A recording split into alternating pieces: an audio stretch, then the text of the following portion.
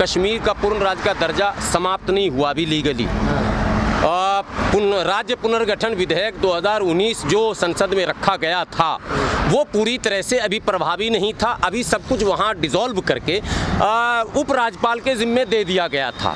लेकिन सच्चाई है कि वहाँ कोई सिस्टम अभी वैसा बना ही नहीं था कि राज्य है कि नहीं है कि आधा है कि पूरा? अब चूँकि मैंने इंटरनेशनल रिलेशन का मामला होता दबाव भी था तो मोदी जी ने सबको बुलवाया। उन्हीं को बुलवाया जो पाकिस्तान का राग अलाप रहे थे महबूबा मुफ्ती भी आ गई बगल में फ़ोटो भी खिंचाई और बगैर मास्क के फ़ोटो भी खींचा गया। वो मेरे पास है आप लोग के पास है कि नहीं है? पता नहीं। और कोई सोशल डिस्टेंसिंग भी नहीं था भाई। वो तस्वीर आप जरा सा दिखा देना इसमें ऐड करके कि ना सोशल डिस्टेंसिंग थी ना मास्क था। और मोदी जी के बराबर में उमर अब्दुल्ला फारूक अब्दुल्ला महबूबा मुफ्ती वो तमाम लोग जो पाकिस्तान का गुणगान गा रहे थे, वो सब थे। भारत के लोगों को ये भी देखना चाहिए दृश्य। और कश्मीर के सभी नेताओं ने कहा कि राज्य को सशक्त किया जाए, पूर्ण राज्य किया जाए परिसीमन मेरे अनुकूल किया जाए। तो सब उन्हीं की शर्त माननी थी। तो दो साल से सांप्रदायिक एजेंडा क्यों बना दिया? और 370 सांप्रदायिक एजेंडा कैसे हो गया? अगर एक देश और श्रेष्ठ देश, एक भारत श्रेष्ठ भारत का नारा है तो 370 371 को तो समाप्त तो होना ही था। लेकिन केवल 370 करके 371 आपको नहीं पता है फिर मैं आपके चैनल के माध्यम से बता देता हूँ, तीन सौ इकहत्तर पूर्वोत्तर के कई राज्यों में अभी लागू है, जहाँ इंटर परमिट लेकर ही आप जा सकते हैं। ऐसे सीधे बस पकड़ के आप उन राज्यों में नहीं जा सकते हैं। उत्तर पूर्वोत्तर के राज्यों की बात कर रहा हूँ, पाँच, चार, पाँच राज्यों में है। तो तीन एक भारत श्रेष्ठ भारत बना रहा है क्या? तीन पर लोगों को सांप सूंघ गया और 370 सिर्फ़ इसलिए कि वहाँ पर मुस्लिम मेजोरिटी में था। तो कैसे संप्रदायीकरण किया जाए? तो 370 विरोध कौन कर रहा? तो भैया, एक देश और श्रेष्ठ, एक भारत श्रेष्ठ भारत का तो सभी समर्थन करेगा। कुछ लोग तो कह रहे हैं कि चुनाव का पब्लिक स्टैंड है वो देखिए, हर चुनाव चुनाव तो साल भर होते रहते हैं। कुल मिलाकर ध्रुवीकरण करके मुख्य मुद्दे से लोगों को हटाते हिंदू मुसलमान मुद्दा नहीं है। मेन है डाइवर्ट करना। सरसों का तेल 200 से ऊपर, पेट्रोल 100 से ऊपर, जब 50 से ऊपर था तो हाई तोबा मच रहा था। सरसों का तेल 100 भी नहीं गया था, तभी हाई तोबा मच रहा था। जो रिफाइंड है वो बढ़ गया। दाल किसान की यही तो लड़ाई किसानों की है ना भाई? खरीद रहे हो किसी और रेट में, बेच रहे हो किसी और रेट में आटा, जाइए लेने के लिए पैकेट का। दस किलो का आटा खरीद के देखिए, आपको रेट का पता चल जाएगा। और जाइए किसान के यहाँ से गेहूँ खरीदिए रेट का पता चल जाता। ज़मीन आसमान का फ़र्क कर दिया गया, बीच में ये कौन लोग हैं? लड़ाई ये है। लेकिन इन्हीं लड़ाइयों से मुद्दा हटाना दिमाग हटा देना। इस्लाम खतरे में एक बोल, दूसरा आया हिंदुत्व खतरे में। सब खतरा ही खतरा। खतरा ना हिंदुत्व पे है, न इस्लाम पे खतरा यहाँ इंसान पे हो गया है, खतरा गरीब पे हो गया, उसके पेट पे हो गया, उसके रोज़गार पे हो गया, उसके भविष्य पर हो गया, उनके बच्चों के शिक्षा पर हो गया। खतरा जो असल है, उससे हटाया जा रहा, दिमाग भटकाया जा रहा, ये मुद्दा कुल मिलाकर। उत्तर प्रदेश के विषय में दो लाइन में समझ लें कि चुनाव वही लोग जीतेंगे जिनकी रणनीति ईमानदारी से सबको साथ लेकर चलने की होगी। अगर उनके दिमाग में कोई खोट होगा हम अमुक जाति की सत्ता बनाएँगे अमुक क्षेत्र की सत्ता बनाएँगे अमुक दल की सत्ता बनाएँगे हम अमुक को मुख्यमंत्री बनाएँगे तो मौजूदा सरकार को हराकर सत्ता प्राप्त करना मुश्किल और कठिन। है तो एमआईएम ने 100 सीट पर चुनाव लड़ने का अनाउंस कर दिया। मैं क्या करूँ? वो तो उनका पार्टी है ना हमारी कोई पार्टी है क्या? कह रहे हैं कि बी टीम है भाजपा का लोग क्या कह रहे हैं? मैंने सारी बातें कह दी आपको।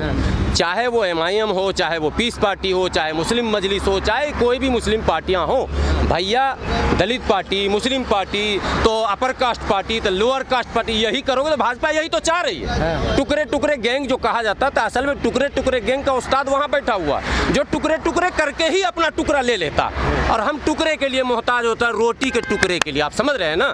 तो ये जो सब कुछ खेल हो रहा है ना ये सिर्फ़ हो रहा मुख्य मुद्दों से हमारे दिमाग को भटकाया जा रहा है दाढ़ी खतरा है तो टोपी खतरा है। मैं कहता हूँ न लड़ाई जो है न दाढ़ी की है न चोटी की है लड़ाई रोटी की है।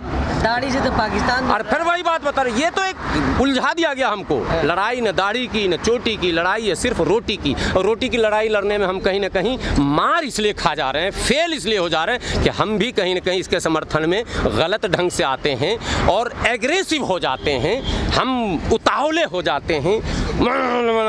खतरा हो खतरा, उधर। ये चीज़ बंद करना पड़ेगा, कहीं कोई खतरा नहीं है। अभी बहुत संभावनाएँ हैं। लाखों करोड़ों लोग हैं जो देश को संवैधानिक, सामाजिक और मैंने उस लाइन पर लेकर जाना चाह रहे हैं, जिसकी चाहत रखते हैं लोग। लेकिन उन लोगों को पीछे की लाइन में रखा जा रहा और जो इस तरह के लोग हैं, जो खतरा खतरा करते हैं, उनको मीडिया के माध्यम से भी और जिसका लाभ जिसको होना है पॉलिटिकल वो लोग भी उन्हीं को आगे बढ़ा देते हैं। एक मौलवी अगर कुछ कह दिया उल्टा सीधा टीवी पर उसको 25 दिन लाया जाएगा। और मौलाना ने ये कह दिया, एक पंडित जी तिलक लगा के अगर मुसलमान को गाली बग दे तो सब गाली बग दे, क्या फ़र्क पड़ता है? बात समझिए। लेकिन नहीं, उसको दूषित करना है।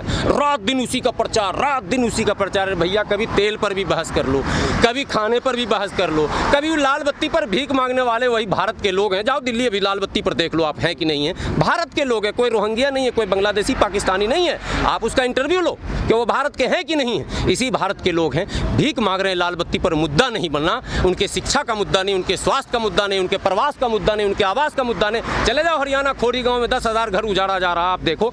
उसका मुद्दा नहीं, उनके पुनर्वास का मुद्दा नहीं। ठीक है, वो वन विभाग का था, कुछ भी था, बसे थे, खरीद के एजेंटों ने ठग लिया। भाई, उनके पुनर्वास का मुद्दा होना चाहिए ना, टीवी पर है ही नहीं ये मुद्दा। टीवी पर अगर कोई जबरन उसको डालेगा तो वहाँ भी हिंदू और मुस्लिम करके डालेगा। कुल मिलाकर देश के युवाओं को इस बात को गंभीरता से लेना है। यदि हम गंभीर नहीं होते हैं, हम भावनाओं में अगर बहते हैं तो इसका खमियाजा हमें ही भुगतना पड़ेगा।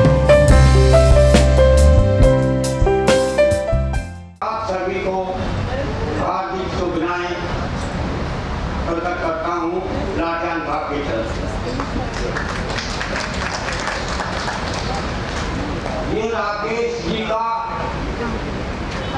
जन्मदिन नहीं है, ये सरकार को मालूम हो गया कि एक महाशक्ति का जन्मदिन है। महाशक्ति अवतरित हो चुकी है। ये सरकार पूरी आबाद हो जाए पूरे षड्यंत्र रच राकेश जी का बाल का निकल सके अब जो बहुत चरम सीमा पर संगठन पहुँच चुका है राकेश जी और ये परमात्मा की तरफ़ से देन है ये वास्तविकता है अगर गहराई से सोचें रघुकुल में, जन्मे। श्रेष्ठ स्कूल में जन्मे, श्रेष्ठ घर में जन्मे। उनका नाम रखा गया राकेश। आपको कंसेशन करूँ इसका यह राकेश नहीं है राम के अवतार हैं राम ने राम के माने के सह माने सपूत राम के सपूत के नाम से इनको परमात्मा ने जन्म दिया मैं आशा करता हूँ कि आप लोगों के हित के लिए किसान मजदूरों के हित के लिए छह महीने हो गए रटू रटू आगे जीव छह महीने के हो हिम्मत है राके जी में खूब माइक वहाँ लगा दे माइक चला आप अपनी संख्या बढ़ाएँ। माइक निकाल वहाँ। सरकार को दिखाएँ कि हम सब राकेश जी के समर्थक हैं। किसानों के समर्थक हैं। ये आपकी ड्यूटी है। मैं आज जन्मदिन के शुभ अवसर पर राकेश जी के लिए अपने वेतन से अपनी पेंशन से। प्रति माह पाँच सौ रुपए की घोषणा करता हूँ।